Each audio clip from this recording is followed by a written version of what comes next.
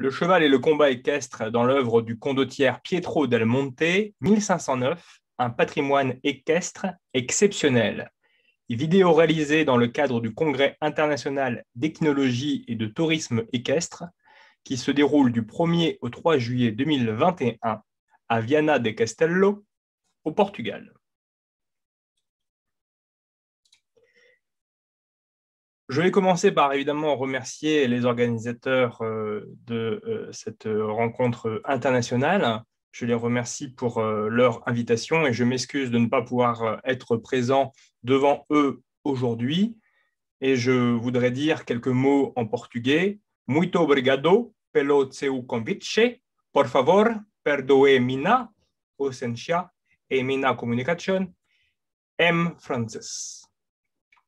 Donc, je vais vous parler d'un individu très important dans l'histoire des arts martiaux et des arts équestres, Pietro del Monte, 1457-1509, est un condottière italien, autrement dit, un mercenaire de la Renaissance. Il mène sa carrière de condottière en offrant ses services à l'Espagne et aux villes de Milan, Venise et Florence jusqu'à sa mort lors de la bataille d'Agnadel le 14 mars 1509. Durant sa vie, il enseigne les arts équestres à Galeazzo Sanseverino, qui deviendra premier grand écuyer de France sous François Ier.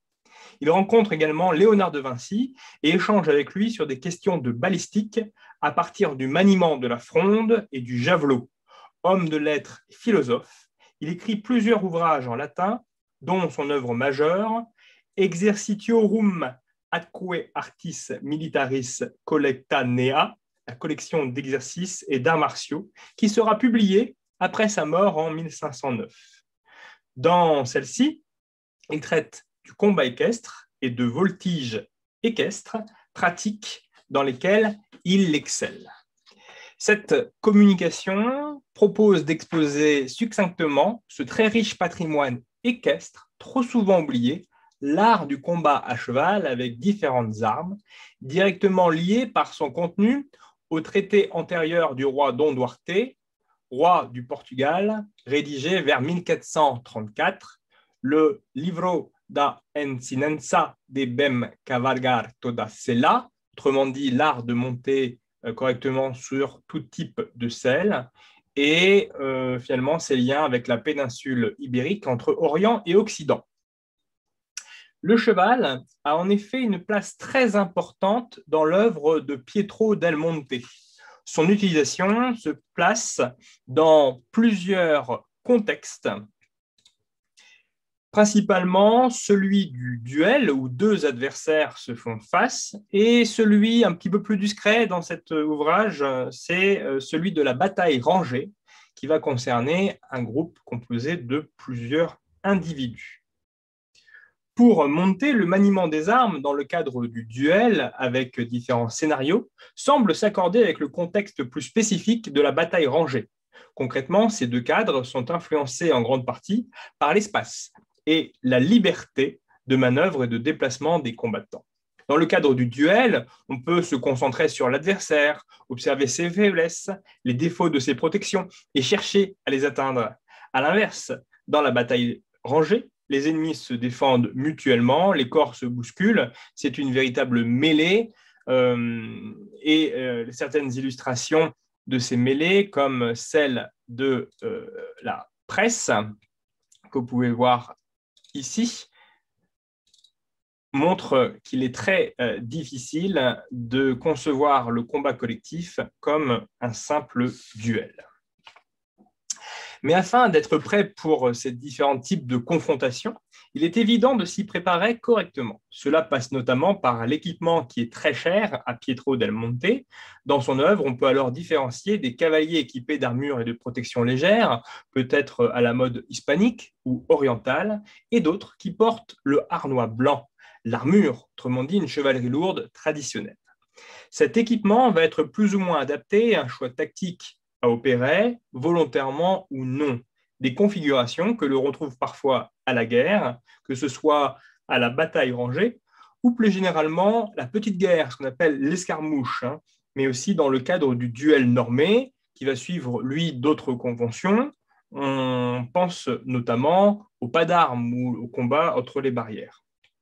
Ces conventions et ces règlements vont être très importants puisqu'ils vont déterminer ce qu'il est possible ou non de faire, ce qu'il est autorisé de faire techniquement et tactiquement. Par exemple, pour un duel organisé entre les barrières, Monté désire absolument savoir s'il est autorisé ou non de frapper et de tuer le cheval adverse, ce qui de manière conventionnelle ne se fait pas comme il le précise, mais qui reste l'une des tactiques les plus efficaces afin de vaincre son adversaire. À l'opposé du duel encadré, la guerre conduit, elle, à deux types de combats moins honorables? Le harcèlement, qui va comprendre des dérobements et des fuites tactiques, qui est assez propre à la cavalerie légère, et le combat entre un piéton et un cavalier, du moins quand ce piéton n'est pas un chevalier euh, tombé de sa monture lors d'un duel. Enfin, le combat frontal, le duel en arnois blanc, répond d'une manière générale à l'ensemble des différents contextes, la bataille rangée, l'escarmouche et le duel normé. Mais comme nous allons le voir, chacun de ces contextes va également conduire à une préparation spécifique et dépendante du matériel utilisé. Par exemple, la technique du harcèlement peut conduire à privilégier l'exercice du maniement du bouclier léger de cuir à la mode mauresque, qu'on appelle l'adarga, que vous pouvez voir ici sur les illustrations dans le dos des combattants, et une lance plus légère qu'on appelle la gineta. Cette dernière peut être lancée à pied ou à cheval, ce qui euh, a conduit Monté à nous donner quelques indications sur son maniement. À l'opposé, pour le combat frontal, en arnois lourd, l'arme utilisée est évidemment la lance lourde, dont l'entraînement passe par l'exercice plus connu de la joute. Cette partie est assez bien développée dans son œuvre, même si elle ne semble ne prendre en compte que la joute traditionnelle croisée à l'épaule gauche avec un équipement spécifique, ce qui tend à s'éloigner du combat à la lance de duel où l'adversaire peut passer aussi bien du côté gauche que du côté droit. Encore plus proche du duel libre et de la guerre, Monté est l'un des très rares auteurs à expliquer l'utilisation des armes typiques de la cavalerie lourde de cette fin du XVe euh, siècle et du début du XVIe siècle, à savoir, à savoir les becs de corbin ou autres marteaux d'armes, parfois confondus euh, avec la hachette ou remplacés par la masse, et euh, ces armes peuvent être substituées à l'estoc, qui est une épée à la lame très effilée, typique de cette période. Et ici, sur cette diapositive, vous pouvez voir un exemplaire beaucoup plus tardif, puisqu'il date de 1570-1600. Enfin, le fait de porter un arnois et surtout une protection au visage et sur le bras gauche permet d'envisager plus certainement la lutte et les tentatives de désarmement. En ce qui concerne le combat entre un piéton et un cavalier, euh, ces techniques ne sont pas sans rappeler celles d'un ouvrage plus tardif, celui, ou du moins ceux de Paul Hector Mayer des années 1550, où vous pouvez voir ici un albardier à pied maniant sa hallebarde, euh, déviant euh, la lance de son adversaire, un chevalier équipé du harnois blanc. Ces différentes tactiques euh, à pied contre un combattant à cheval dépendent évidemment des armes utilisées pour le cavalier comme le piéton. Toutes ces pratiques sont donc bien inscrites dans l'œuvre de Monté et le lecteur habitué à la littérature des livres de combat ne sera sans doute pas perdu. Mais ce qui est intéressant dans son travail, c'est la manière dont il justifie l'entraînement à ce type d'exercice, à des fins parfois hygiénistes, mais surtout martiales. L'entraînement de l'homme de guerre passe par le développement de son endurance et de sa force. À cette fin, la lutte, par exemple, est fondamentale, comme la lutte l'est dans l'œuvre du roi du Portugal, Don Duarte. Vient ensuite le maniement avec différentes armes à pied, enfin d'autres sont spécifiquement liés à la présence d'un cheval. Il s'agit en premier lieu, bien évidemment, de l'équitation, même si Monté en parle finalement assez peu, et de la voltige équestre qui est très présente dans son œuvre. Enfin, Tout comme le choix de l'équipement est primordial, le choix du cheval l'est tout également. Monter est l'un des rares auteurs à développer l'importance de la physionomie et du caractère du combattant. Il en fait de même pour le cheval. Quoi qu'il en soit, le cheval bien dans sa tête, courageux, dressé, surtout plus fort, puissant et grand que celui de l'adversaire, offre un avantage technique non négligeable, si ce n'est fondamental.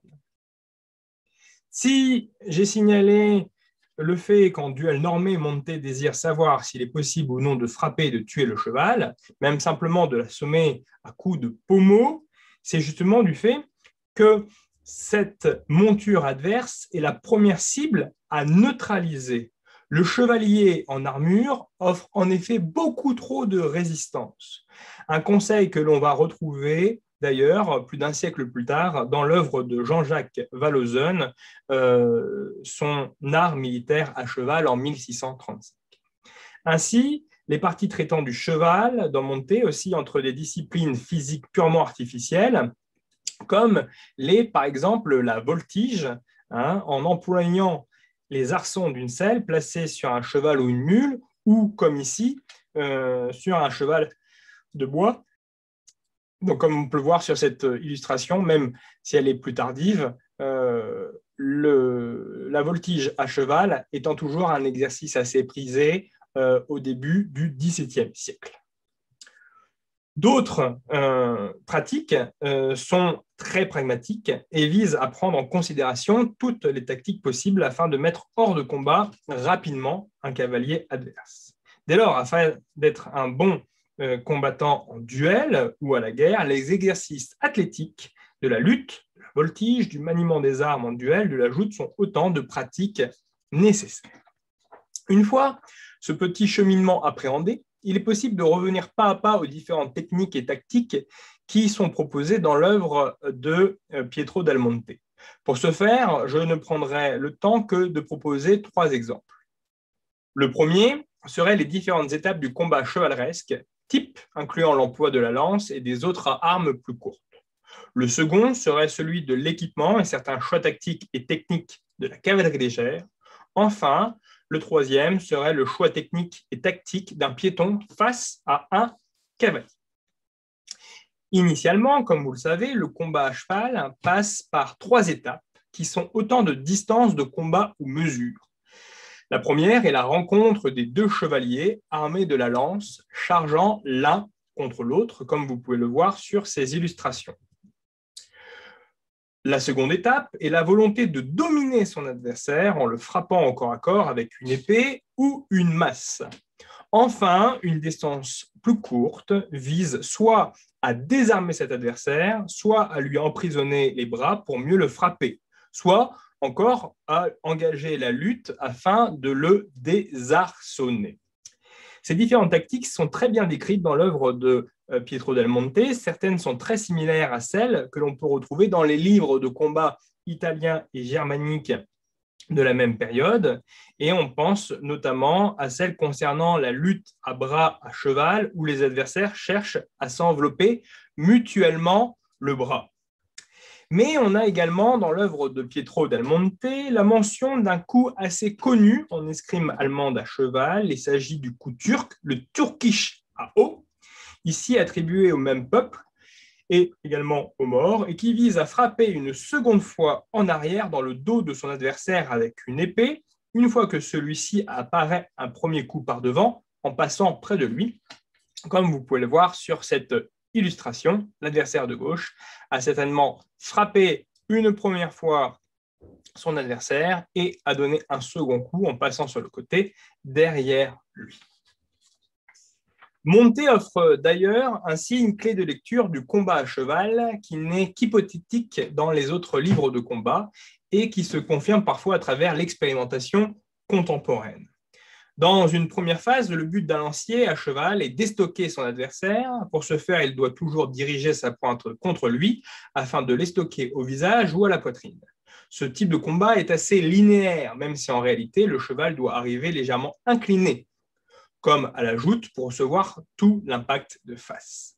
La seconde phase de combat se fait avec la masse d'armes ou le marteau d'armes qui doit pouvoir s'utiliser à deux mains, monté et catégorique avec un arnois blanc, il est nécessaire de frapper avec le plus de force possible son adversaire afin de le blesser, ce qui n'est pas le cas avec un équipement plus léger où tous les coups sont dangereux.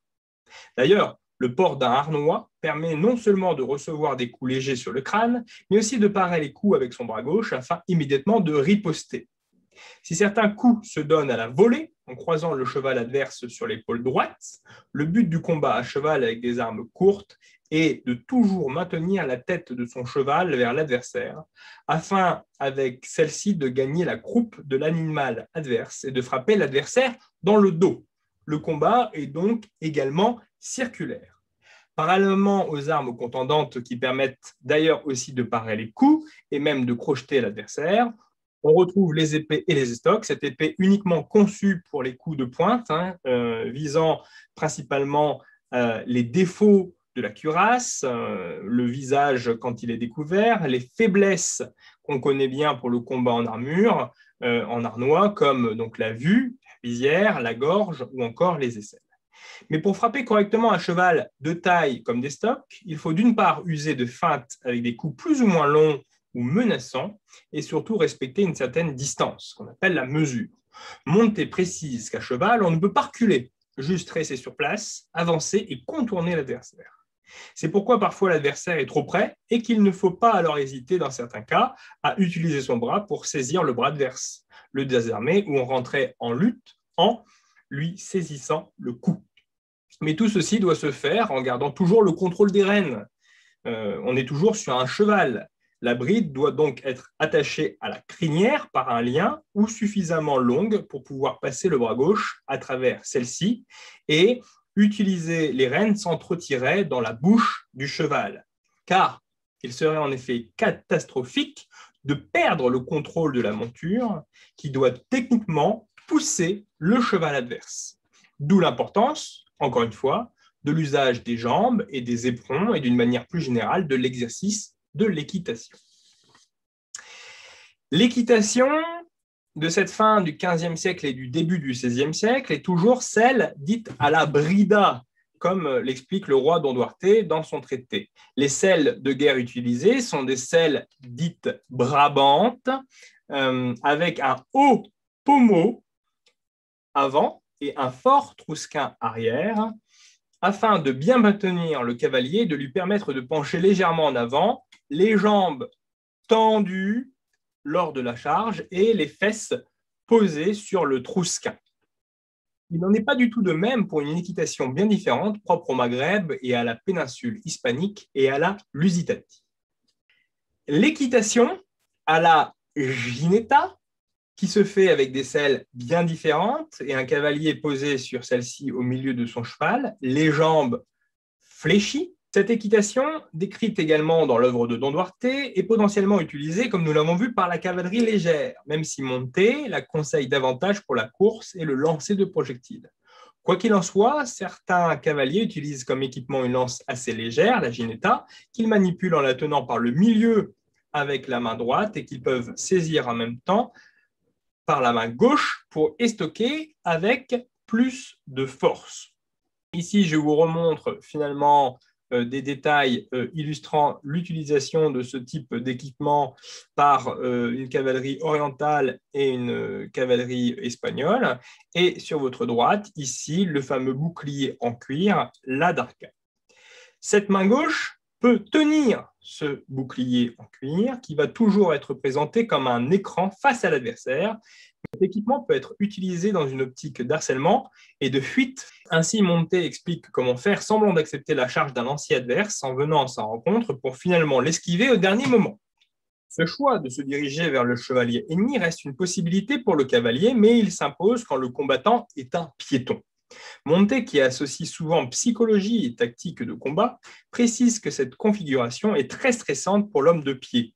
Néanmoins, il tient à ajouter qu'il reste difficile pour un chevalier d'atteindre un piéton armuré et qu'il existe de fortes chances de seulement le mettre au sol ou que celui-ci frappe le cheval et esquive la charge d'un bond. De plus, si le piéton tombe au sol et qu'il est armuré, et si en plus le cavalier adverse n'est pas armé d'une longue lance mais d'une arme plus courte à la portée limitée, le piéton doit rester au sol et tâcher d'utiliser son arme afin d'estoquer à plusieurs reprises le ventre du cheval, à la manière d'un loup, ce qui, d'après Monté, s'avère plus difficile mentalement que techniquement. Ainsi, à travers ces quelques exemples équestres, j'ai voulu montrer comment Pietro del Monte permettait à sa manière de combler le fossé qu'il semble parfois exister entre la théorie des livres de combat et la réalité du terrain ou des différents contextes comme celui de la guerre. De manière pragmatique, Monte explique l'importance du cheval et du combat à cheval qui commence par l'exercice de la lutte, de la voltige ou encore de la course à pied en s'aidant ou non d'un cheval et qui viserait à fortifier son corps et sa volonté de domination. En parallèle, l'exercice de l'équitation s'avère bien évidemment primordial pour le combat à cheval. Les techniques qui sont utilisées dépendent à la fois du contexte matériel, tel type d'arme ou d'armure permettant telle ou telle technique. Le contexte de pratique permet de définir certaines conventions et certaines acceptations en ce qui concerne la liberté de l'échange. Ainsi, le combat militarisé ne semble pas toujours si éloigné du duel normé quand il ne s'agit que d'observer les différences d'équipement, l'objectif tactique et en fonction de ceci d'adapter sa technique. Un choix technique qui n'est possible que sous réserve d'avoir force, l'endurance, la maîtrise, le mental nécessaire à son implication. Ainsi, j'espère avoir pu démontrer l'importance du cheval comme équipement dans euh, la formation du chevalier et son utilisation lors du combat équestre. Si vous avez la moindre question, je suis disponible sur ces différents réseaux sociaux et je me ferai un plaisir d'y répondre. Je vous souhaite une très bonne journée. Je vous remercie.